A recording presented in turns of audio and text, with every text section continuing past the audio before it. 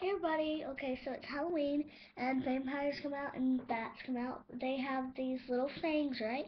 Well, I lost one of my fangs today. My mom pulled it out. It was a tooth. Everybody has a little hole on the top because that's what my brother had. It's just a little hole on the top from where it the pulp, like this little stuff comes out with your tooth.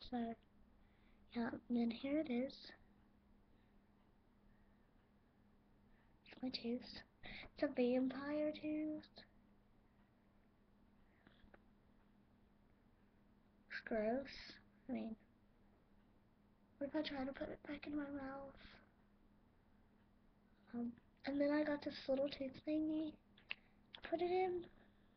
See, it's nothing in there. Now there's something in there. And the tooth fairy just came last night because I lost a tooth on the bottom. It was a big tooth. Uh, giant tooth.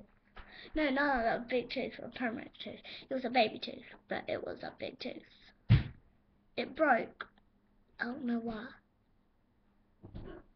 It was, oh, I know why, because it's been in there a long time. It it's been in there for about three months, but this one has been in here for a long time.